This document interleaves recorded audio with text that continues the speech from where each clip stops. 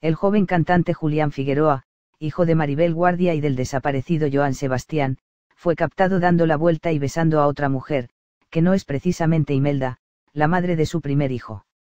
En su edición más reciente la revista TV Notas publica que Julián fue captado besando a una joven mujer, que no es la madre de su futuro hijo. En el vídeo se puede ver a Figueroa saliendo de un restaurante de la Ciudad de México, en compañía de una mujer, a la cual besa en diversas ocasiones la boca, antes de subirla a la camioneta.